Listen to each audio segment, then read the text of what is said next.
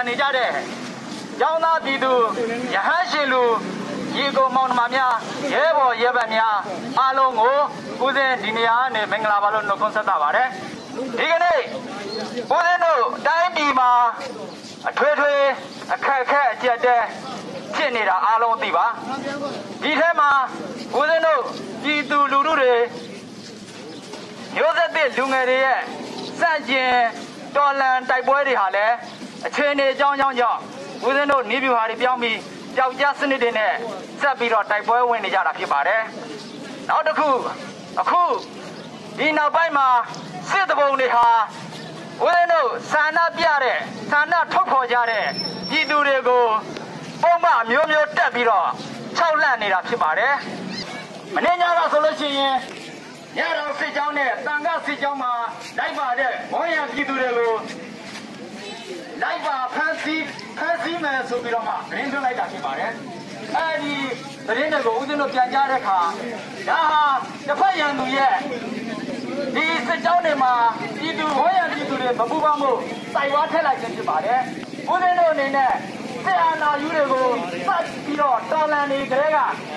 စစ်တဘုံတွေရဲ့မတရားတဲ့မိတ်မူသမျှကိုဦးဇင်းတို့စတင်ရမှာဖြစ်ပါတယ်။တိုင်းကလေးပေါ်ပါတယ်တက်နေပါစေဦးဇင်းတို့ထက်တက်ကြမလို့ပါဘူး။ဦးဇင်းတို့ရဲ့လူလူလှုပ်ရှားမှုတွေတော်လန်ပုံကံမှုတွေဟာဆက်ပြီးတော့ဦးဇင်းတို့လုပ်နေရမှာဖြစ်ပါတယ်။ဒါကြောင့်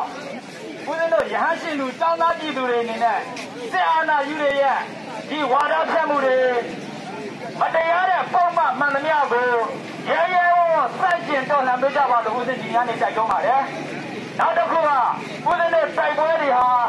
ကိုယ်ဆိုလို့ရှိရင်နှစ်လကျော်ကြာနေကြရှိပါတယ်။ကြာကျင်တော့ကြာပါစေ။ဒီသူ့အာဏာကိုပြည်သူလက်ထဲပြန်မရောက်မချင်းဦးဇင်းတို့ဒီစိုက်ကျင်တော်လှန်မှုကိုအားပြော့ပြီးတော့ရက်တန့်သွားမှာမဟုတ်ပါဘူး။ဒီတော့အာနာဒီတော့လက်ထက်ပြန်မရမချင်းဦးဇင်းတို့တန်ဃာတွေလည်းဥဆောင်ပြီးတော့ပြည်သူနဲ့တသားတည်းရက်တည်ပြီးဒီစစ်အာဏာယူတွေကို စိုက်ကျင်တော်လာပါမယ်ဆိုတာဦးဇင်းဒီနေရာနေကြကြရင်ဒီကိုချက်ပါတယ်အားလုံးကိုကျေးဇူးတင်ပါတယ်ဒီမှာပြည်ရ